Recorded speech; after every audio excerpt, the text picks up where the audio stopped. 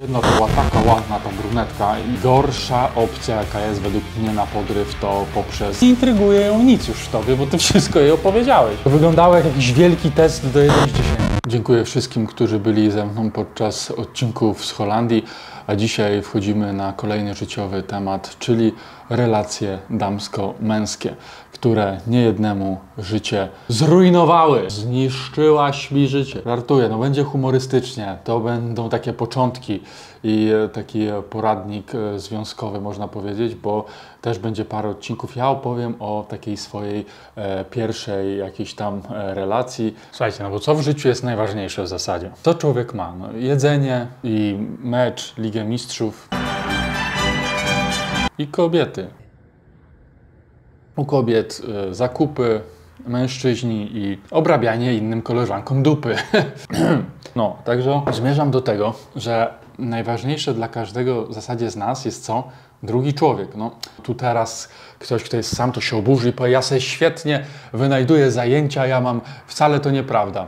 Nie mówię, ale w większości jednak takim źródłem realizacji e, szczęścia e, jest e, drugi człowiek. No, dobra, bo już widzę tych, co po, po, ja, ja podróżuję, ja kocham podróże i gadasz głupoty, ja od pięciu miesięcy jestem w podróży.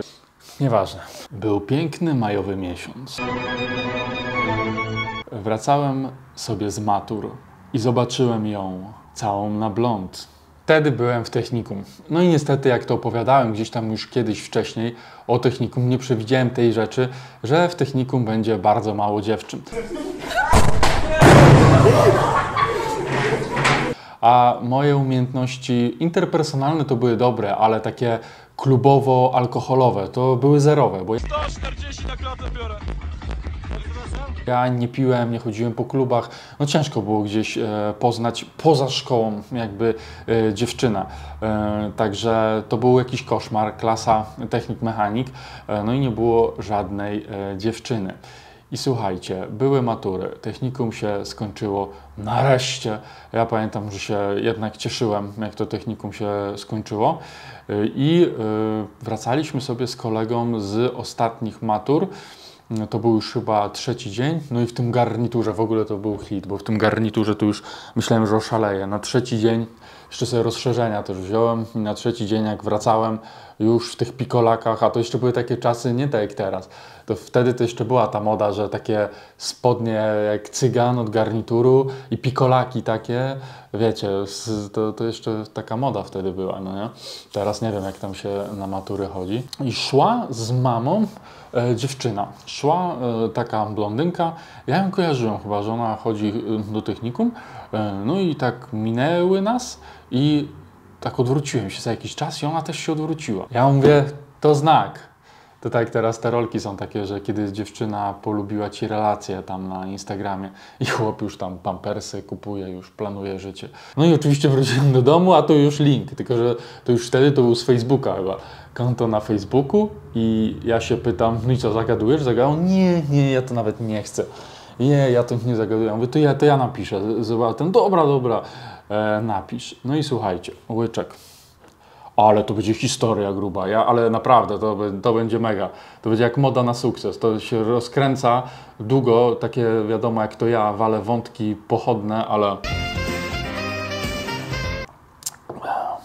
I najgorsza opcja, jaka jest według mnie na podryw, to poprzez internet.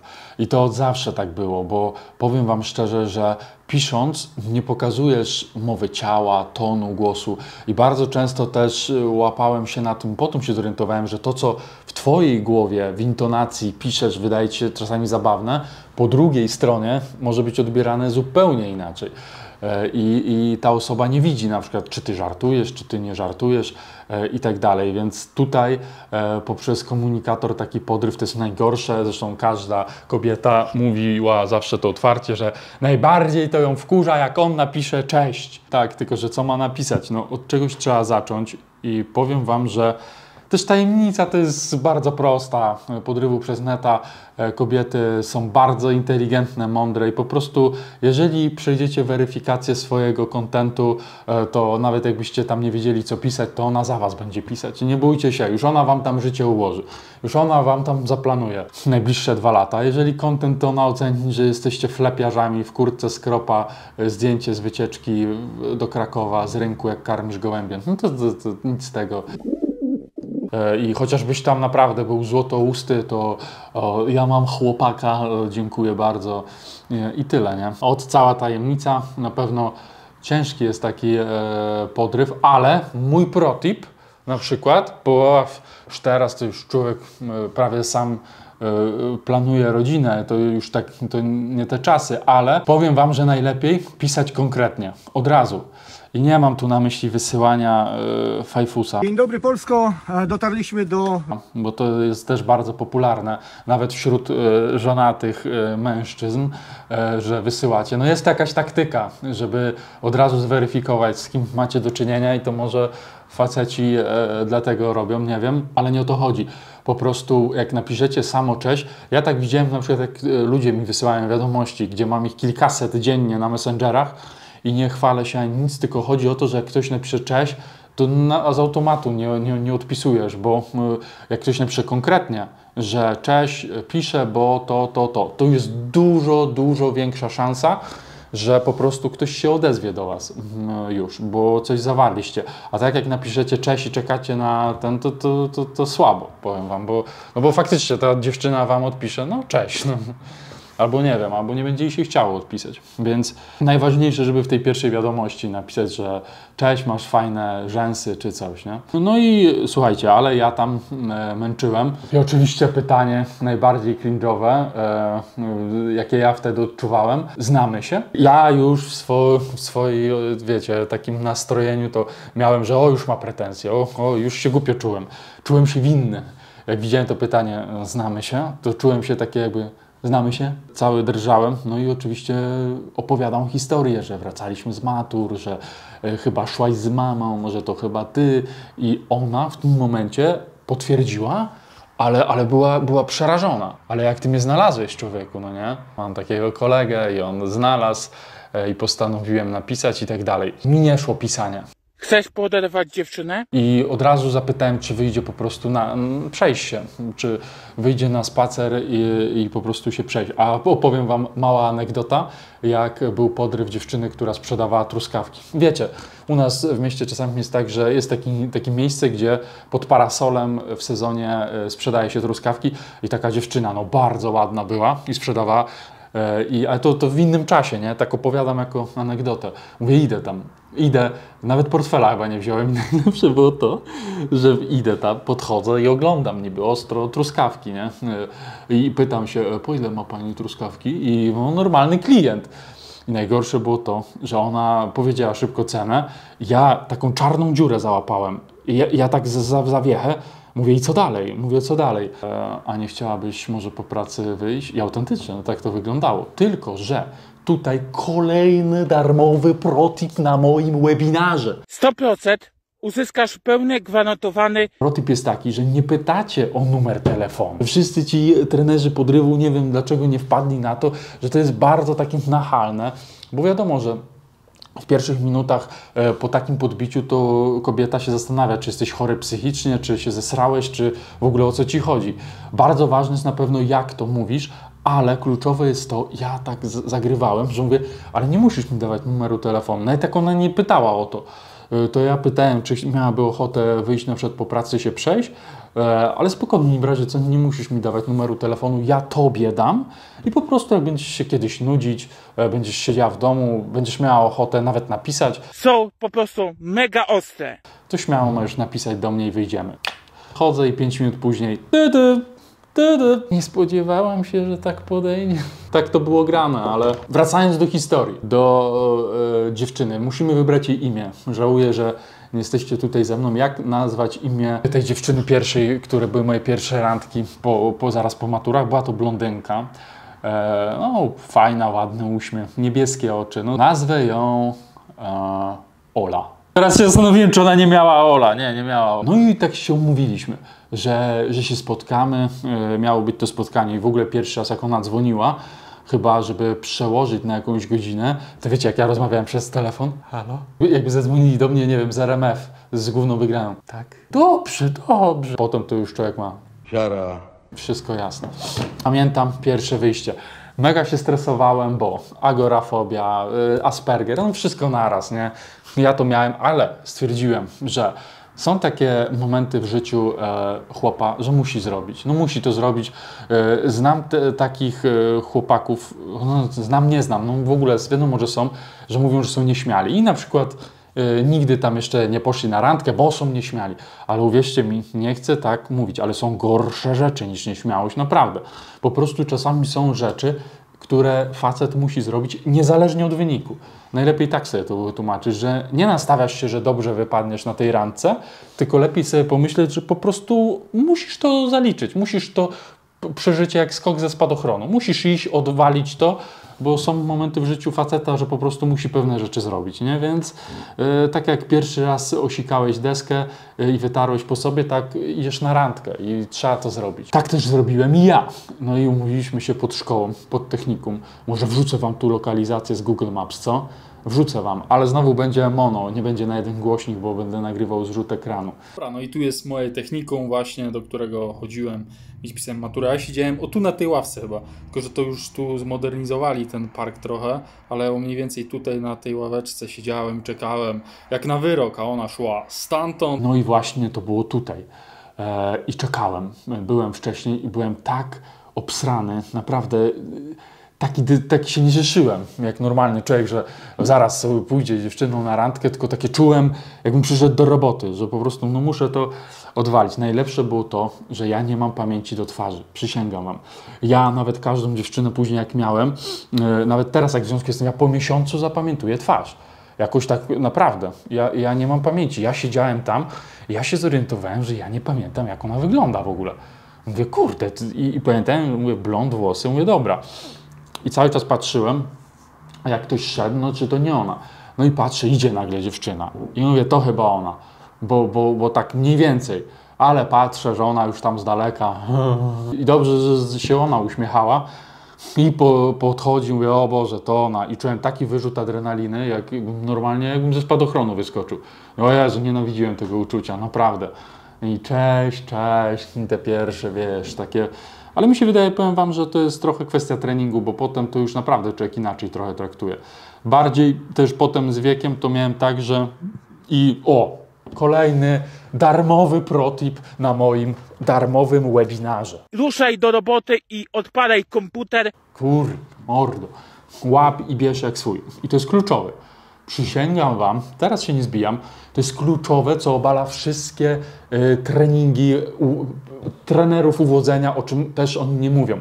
Najlepszy podryw to brak podrywu. O co chodzi? Największy błąd, jaki się robi, na początku też właśnie się robi, że jesteś taki cały w skowronkach, że w zachwytach. Ja jak z taką pierwszą dziewczyną kiedyś gadałem na GG, to był podręcznik, jak nie poderwać dziewczyny. Czyli mówisz jej, że jest ładna, mówisz wszystko o sobie, wywalasz od razu, wszystkie zachwyty, pierdzisz kwiatkami i tak dalej. E, Szanujesz ją, Jej się podobają faceci, których drukują na banknotach NBP. Żartuję. No ale to też trochę tak jest. Nie. Nie, jeszcze raz nie. I nie ma tajemnicy. I ty od razu wystrzelałeś się t- t- t- t- t- jak z karabinu ze wszystkiego. Ona wszystko już wie. I ona tak patrzy. No nie intryguje ją nic już w tobie, bo ty wszystko jej opowiedziałeś. Nie masz żadnej nutki. Kobiety lubią taką nutkę tajemniczości. Ten jeden chłopak, wszyscy się patrzą, on się nie patrzy. I to jesteś ty. I to tym skupisz uwagę właśnie, o czym na studiach się te, także przekonałem. Po prostu musicie być takim trochę outsiderem. Ale też nie idźmy w drugą skrajność, bo faceci to uwielbiają, że potem czapka, tajemnicza postać Marvela, w ogóle nic się już tylko me, me. Nie, tak też nie może to wyglądać. Emo, fajne mam ciuchy, ale się nie odzywam w ogóle. To też lipa. Normalny, komunikatywny chłopak, ale brak podrywu. Gadacie z dziewczyną jak z kolegą. To jest najlepszy patent. Fajnie i opowiadasz jak koledze. Tylko jedna różnica, że po prostu nie gadasz o dupach. No i to, to tyle, a poza tym to, to się ni, ni- niczym nie różni. Wtedy ta randka od razu przejdę do meritum. Wyglądała koszmarnie. Jezu, to, to był dramat, bo e, tak, nie miałem planu, no to idziemy przed siebie. No i szliśmy przed siebie i żeby nie było cringe'u, to ona cały czas opowiadała, a ja cały czas zadawałem pytania. To wyglądało jak jakiś wielki test do 1 z 10. Pan numer 7. I cały czas o szkole. Ja, a jaki profil? A ja po 20 minutach już też miałem dosyć, a najgorsze było to, że ona wcale nie pomagała, bo ona odpowiadała tylko tak i nie. Ona jakby nie zadawała pytań dodatkowych. I lipna sytuacja jest wtedy, kiedy dziewczyna was się nie pyta. Ale one tak mają. One tak mają, że jakby nie za bardzo je obchodzi, e, dlaczego masz odciski na dłoni albo dlaczego ci staną. Ty możesz opowiadać o sobie i one nie zadają pytania kontrującego. O, a ty czym się interesujesz? Ja miałem wrażenie, że ta pula moich pytań się kończy po prostu. A lubisz szkołę? A jaki przedmiot najbardziej? No jak ciotka na imieninach. Takie pytania zadawałem i uwierzcie mi, że ja też miałem tego dosyć. Ale wtedy jeszcze nie umiałem tak powiedzieć szczerze, co myślę, że i to jest dużo lepsze. Lepiej zgadać o pierdołach po prostu takich yy, i tak normalnie. Yy, co tam się robiło wczoraj. Najlepiej nowo pozna- z nowo poznaną osobą rozmawiać tak, jakbyście znali już ją 20 lat. Przynajmniej takie tematy powinny być, że a, wczoraj to zaspałem, powiem Ci, no miałem taki dzień, że miałem sobie w ogóle pójść, zrobiłem obiad, w ogóle ja nienawidzę na przykład i już jest temat, że spaghetti, ona, o ja, ja lubię takie i, tak, i to się kręci. A jak zaczynacie za dużo mówić o pracy, o sobie, to są takie przytłaczające tematy, ABC tematów, których nie powinno się poruszać. Powinno się przez minutę, góra dwie, a potem to już przechodzicie do takich pierdół. A, pośliznąłem się na mydle, nadziałem się na gumowe dildo. A po co ci dildo? A, takie tematy, nie? A ty lubisz w dupę? na pewno lepiej by się to potoczyło, e, jakbym zadał takie pytania, bo w pewnym momencie ja się w ogóle zorientowałem, że już przeszliśmy nie wiem ile kilometrów, już pół miasta. Ja już normalnie i mówię, dobra, zaproponuję, jak to pierwsza randka, pójdziemy na lody i e, żeby spełnić misję prawdziwego faceta, e, to idziemy na lody, o ja, idziemy do sklepiku, bo to tam wtedy jeszcze nie było tak lodziarni, weszliśmy do jakiegoś sklepu i największy błąd kolejny, który robiłem to, a jakiego chcesz loda? A czy taki smak? A ona oczywiście stała przed tą lodówką i z kotem wyszedłem na randkę. Ja pytam, mówię, no czekoladowy kurwa, czy śmie... Pojebie mnie. I błąd, bo wtedy to normalnie się pytasz. Masz uczulenie na coś? Nie. Proszę bardzo, wyciągasz takie jak tobie pasuje. Chcesz, to jedz teraz. Nie, to se zamrozisz w domu. Jesteś facetem, a ja wtedy, a czy taki? A czy to? A czy ten? No I w ogóle, Boże, jakbyśmy kredyt na mieszkanie brali. No przysięgam wam, w tym sklepie to po prostu kredyt na mieszkanie bierzemy razem. Podczas montażu kolejny mój proti, nie wiem, chyba już czwarty, darmowym webinarze. Facet musi być jaki? Decyzyjny. To nie jest ważne, czy ty podejmiesz złą, czy dobrą decyzję. Grunt, żeby się kurwa wreszcie podjął. Kobiety doceniają to i to naprawdę nie chodzi o to się zastanawiać, a może źle zrobię, dobrze. Ją to wkurwia. Ważne, że już byś podjął decyzję i tak będzie dobrze, bo ją podejmiesz i będziesz facetem. Nieważne, czy zła, czy dobra. Jak będzie zła, to wkręcasz i wciskasz, że kurwa była dobra. Kobiety nie lubią ciepłych kluchów niezdecydowanych. Jadła tego loda z taką miną niezręczną, jakbym jej studia zafundował. Ona cały czas, ja ci oddam te pieniądze, ja ci oddam te pieniądze. Ja już miałem, zamknij mordę, mówię, Boże, to było tylko złoty 70. Zmierzaliśmy już do, w stronę jej osiedla, w stronę jej bloku. Mówię, dobrze, mówię, jakoś się to zakończy może i tyle. I ona nawet pod tym blokiem, "E, ja ci oddam te pieniądze, Boże. Ja w sensie, no mówię, no chora, mówię, no przecież mieszkania jej nie kupiłem.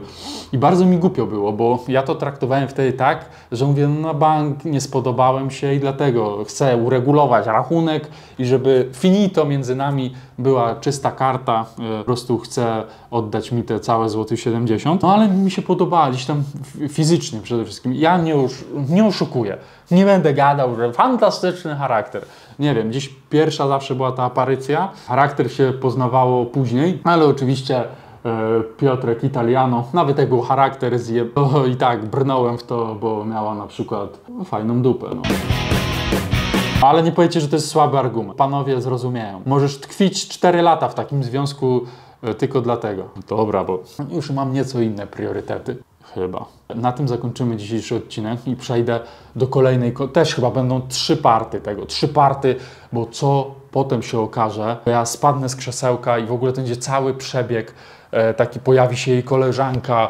E, oj, tyle motywów, że chętnie bym to opowiedział dzisiaj. Chętnie bym to opowiedział dzisiaj, bo, bo mam flow i chyba jesteśmy pod tą klatką, stoimy. No i dobra, papa i tak dalej. E, No i ja wracam do siebie. Po drodze milion myśli. A to powiedziałeś tak, a to się zesrałeś. Pamiętam, że jak wróciłem, to na bank napisałem chyba, napisałem na GG. No dziwo, ona stwierdziła, że bardzo spoko było. Ja, ja nawet miałem takie w domu zdziwienie, co? Mówię, było do dupy przecież, ale że e, spoko. Dziewczyny naprawdę czasami zupełnie inaczej myślą. Do tej pory nie rozumiem, na co one zwracają uwagę. Mówiliśmy się ponownie. Ja raz przyszedłem do nich do domu, e, tam, e, potem się spotkaliśmy tutaj u mnie.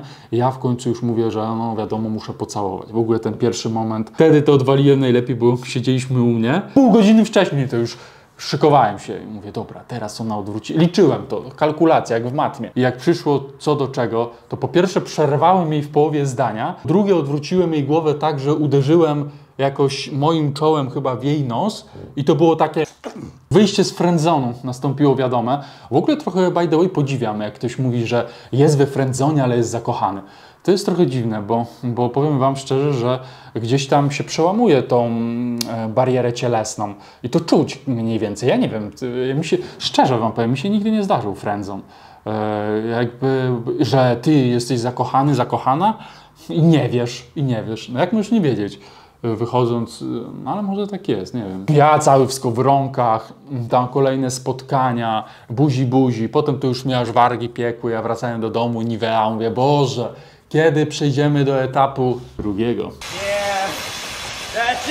Ale pewnego dnia wracam do domu, palam komunikator, w ogóle strzała Amora to już w dubsku tak głęboko, że Piotrek, różowa tęcza, skowronki, czułem, że świat jest piękny, że mogę wszystko, absolutnie. I dostaję wiadomość.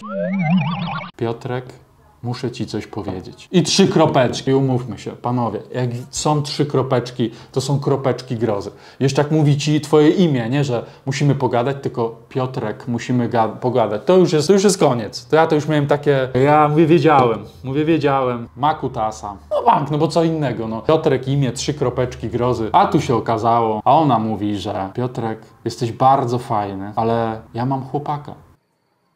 I tyle? Nic więcej? Co masz? Ale, ale, ale jak? Oddawaj kurwa złoty 70. A ja ci smak specjalnie wybierałem.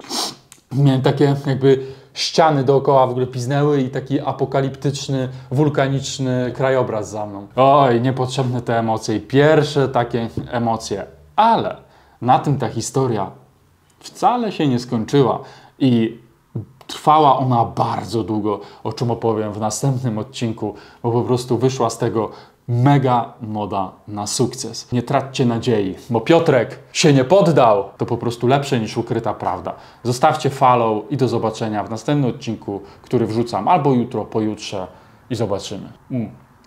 Bonus. Na pierwszej randce nie kupujcie drogich lodów. C Granda nie ma. Pałeczkę wodną. Nie ma co na początku szaleć, bo wam napisze, że ma chłopaka i ojebałam Granda z orzechami, ale frajer.